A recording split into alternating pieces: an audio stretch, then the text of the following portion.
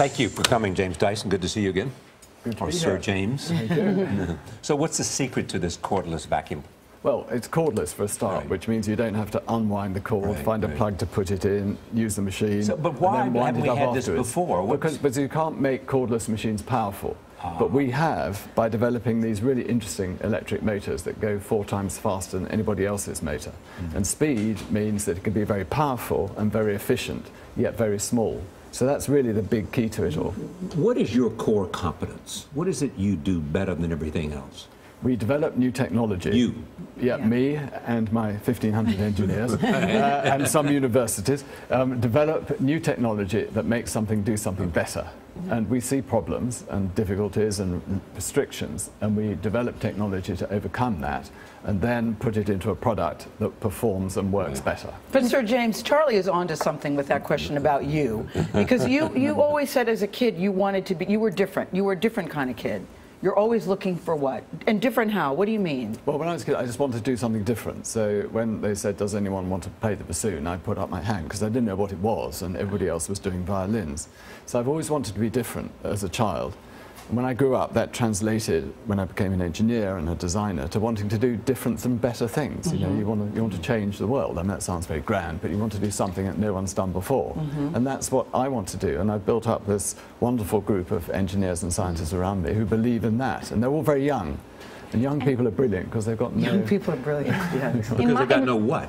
but because they've got no experience. Oh, okay. okay. Experience is such a dreadful thing because it limits you. It's, uh, What I love, the men in my family do the vacuuming too.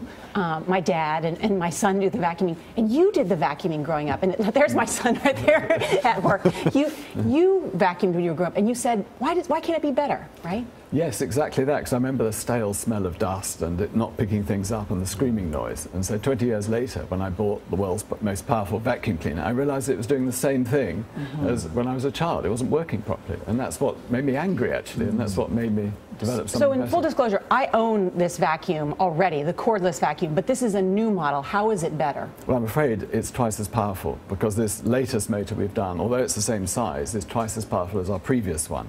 Mm. So you get twice the power. We've upped the batteries by using cobalt magnesium instead of iron. Mm. The, mm-hmm. the iron in lithium ion, so replace the iron with cobalt magnesium. That gives us 50% more power. So it's, and we've added two layers of cyclones, so we separate the dust better. We've actually got 15 cyclones. You understand now? I mean, I mean, I it's it. really fascinating that a vacuum cleaner is this innovative. It's it's it's amazing. Well, yeah, but it's exciting. And, and you see, we reinvent ourselves all the time. We're never satisfied. Yeah. We're like the unsatisfied But- engineer who's always got a better idea around the corner.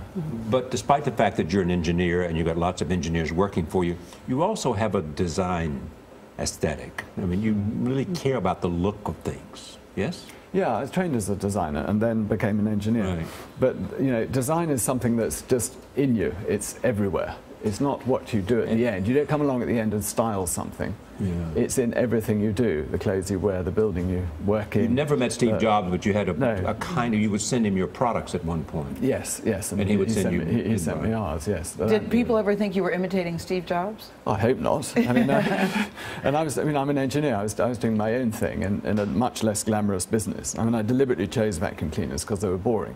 I like that you, no the one vacuum cleaners are developing a- boring. That Yeah. were good, and no one was developing any new technology. Billion dollars later. Yeah, I, was si- right. I was six and then 26, and nothing had changed. They were still using bags. I like that you use the young people though too though because most Yes. people think engineers boring, but you're saying Oh, not. no, that- no, ours are absolutely wonderful. They're Yeah. No, brimming with either. Ideas, no they're really- experience. And you should see the outfits they come in in the fancy dress party. they're, they're so creative. And Sir Dyson, another interesting thing, the bristles that you changed on hmm. this. Tell us about that. I mean, it's fascinating. Yeah, well, what, what I discovered, I mean, we've got carpets and hard floors. It's about 50-50 in the home. And no one's done a vacuum cleaner to clean up on hard floors because dust sticks to the floor by static on a hard floor.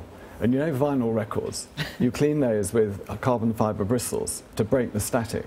And that's exactly what we put in our, in our vacuum cleaners. And, you know, dusty footprints going across the floor, it'll pick those up. I didn't know a vacuum cleaner was so detailed. Did you leave any behind? Are you leaving any behind? I'm sure, well, actually, the, I, we cleaned up the sofa, and I think we do need a vacuum cleaner in here. So that's, oh, thank you.